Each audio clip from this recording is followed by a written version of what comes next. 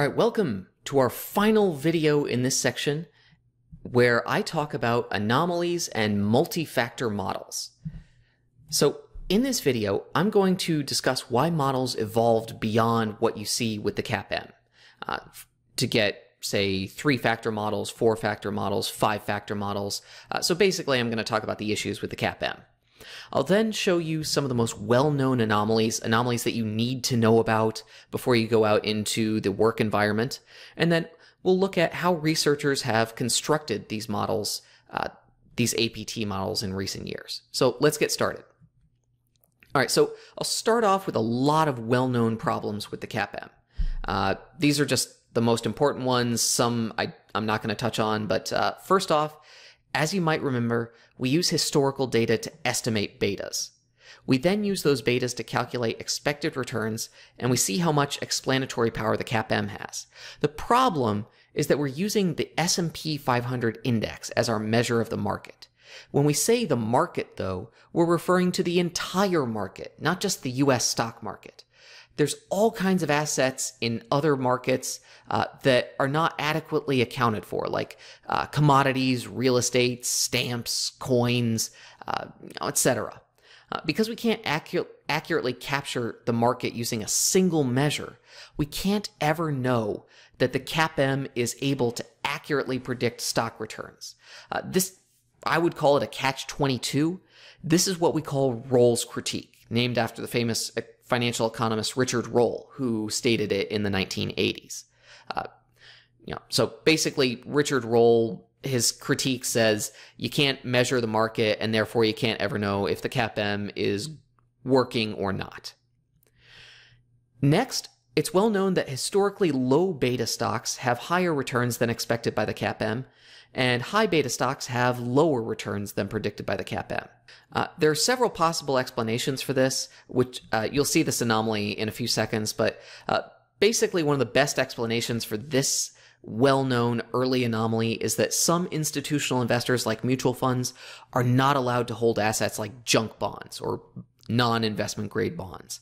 Uh, therefore, they tend to overinvest in high beta stocks, which pushes the price up and the future returns on those stocks down.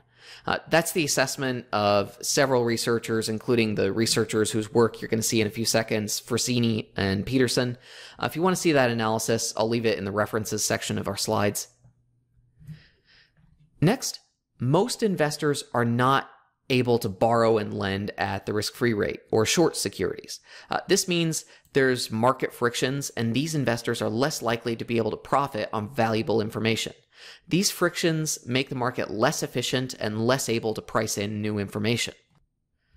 Next, we're assuming that beta is constant from one period to the next.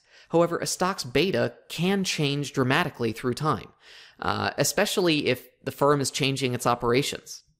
Uh, the historical beta might also not reflect the future beta. I mean, we're relying on historical data. So the, the beta that we're estimating using, let's say, five years of monthly data is the beta over that five year period. It's not necessarily the beta of the firm moving forward.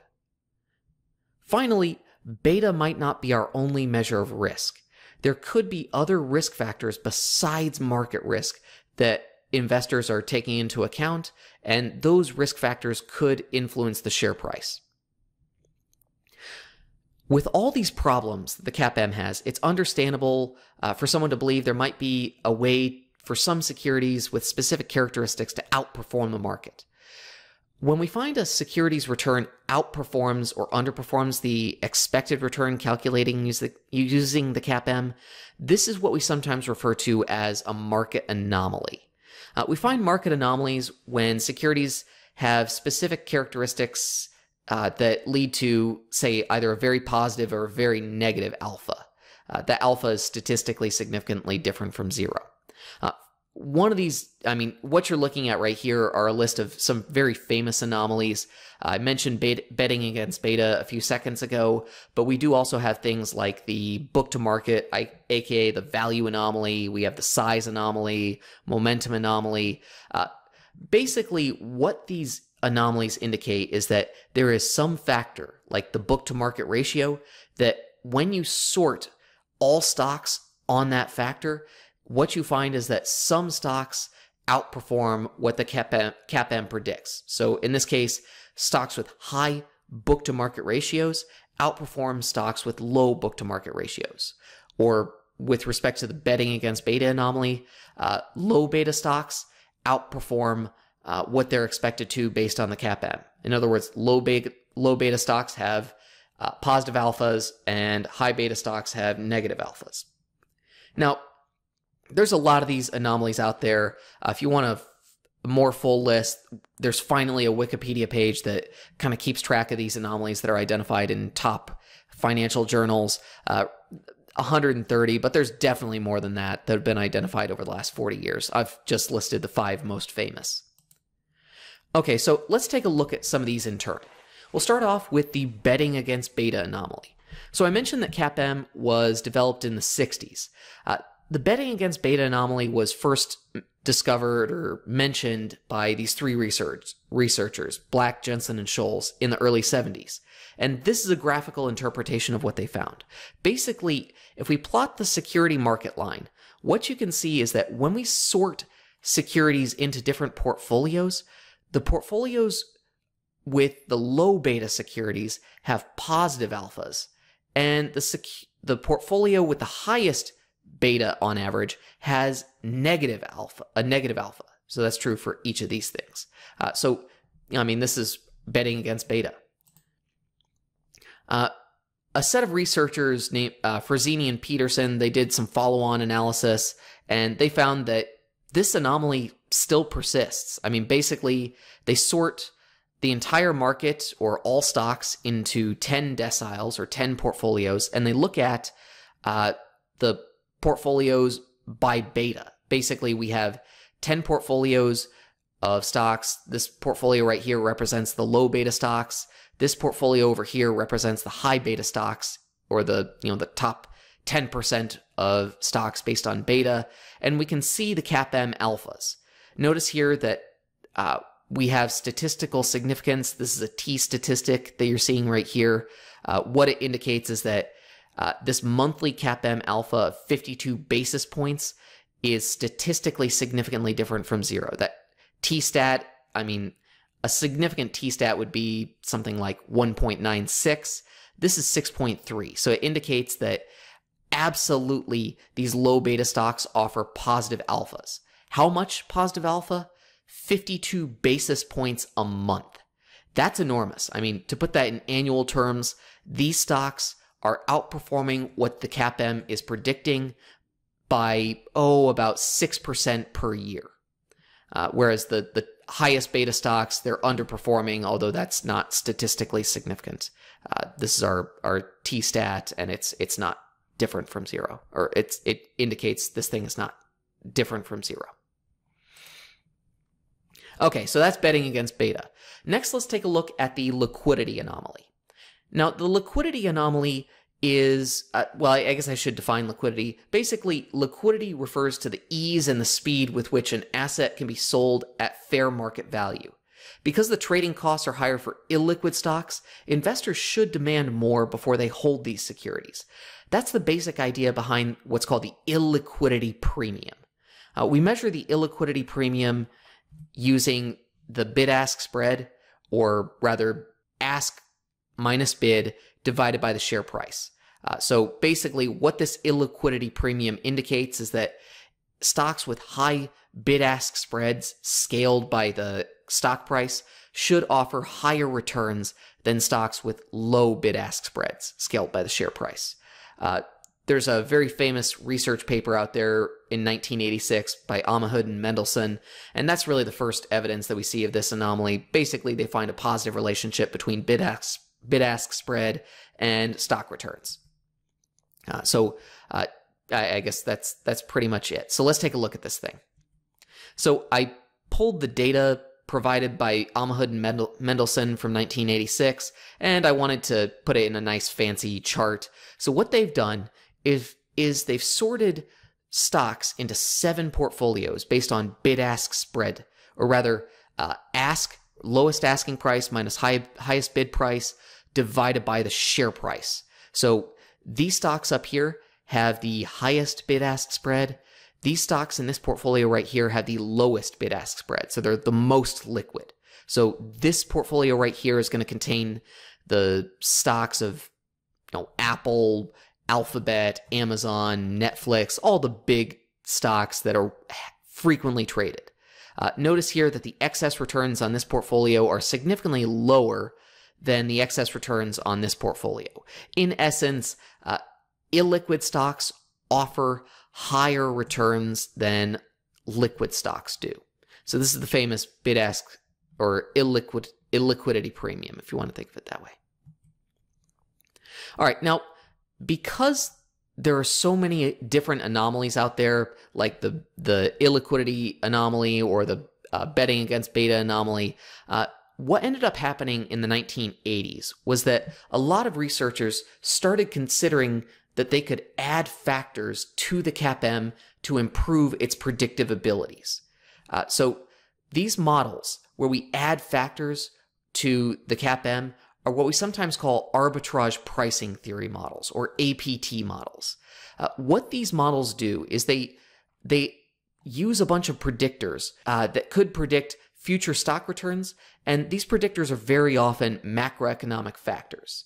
Uh, so APT models, most of the time, they're just going to add factors to the CAPM. Uh, you know, these could be like uh, change in GDP. So this Factor one could be change in GDP. Factor two could be uh, interest rates during the period. Factor three could be unemployment during the period. Uh, there are many, many different APT models out there. Uh, if you can create a factor, uh, just some variable that changes from month to month or you know period to period, you can create a new APT model. Uh, the goal here of these APT models is to predict excess returns on stocks. Now, there are a lot of famous APT models out there. Uh, one of the older and I would say the most famous APT models out there is the Fama and French three factor model. Now, these two researchers, Gene Fama and Ken French, they took some variables that had already been identified as anomalous and they used them to construct two additional factors. They called these factors the small minus big factor and the high minus low factor. And uh, let me just show you how this is created because I'll show you the regression form of the model in a second. But basically, they use the value factor and the size factor, and they sorted all stocks into one of six bins. So based on the book to market ratio of the stock and the, the market cap of the stock. So, uh, you know, small cap stocks are going to go in these three bins, and large cap stocks are going to go in these three bins. Uh, value stocks, stocks with high book to market ratios, are going to go in this bin, and the bottom 30% of stocks based on book to market ratio are going to go in this bin. And what these researchers did was they created factors by taking uh, the, well, to get the small minus big factor or SMB factor, they took the returns on the stocks, the small stocks, minus the return on the big stocks uh, during the period, and that's their size factor. The high minus low factor, they basically took the returns of uh, these these stocks uh, and subtracted the return of these stocks, and you know they created this this value factor called the high minus low or HML factor. Now these are the forms of the three factor model, the Fama and French three factor model. Up here, we have the regression form of the three factor model, which says that the excess return on a given stock is equal to alpha plus our beta with respect to the market times the market risk premium plus the beta with respect to the size, the small minus big or size factor times the size factor, uh, plus the beta times uh, with respect to the value factor times the value factor or HML factor plus some error term. The model form is just, I mean, it's it's basically the model form of the CAPM, which is basically everything from where my cursor is over, plus two additional factors. And that's really all these APT models are. They're just adding additional factors most of the time to the CAPM to see if they can improve the prediction ability of that model. Now, there are other APT models out there. Uh, you know, I'll just, I've listed three of the most famous. So you know, one of the early famous ones was uh, created by some researchers, Chen, Roll, and Ross. Uh, it's a five factor model. There's another one out there that's a four factor model. We call it the Carhart model. It's basically uh, the Fama and French three factor model with a momentum factor on it. And then Fama and French, they saw that some other researchers had identified anomalous variables.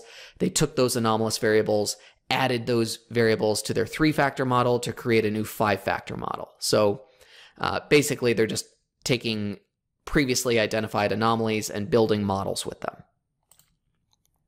Now, I, I, guess the final point I want to leave here uh, why would we ever want to do this? Why would we want to create these additional factor models, these APT models?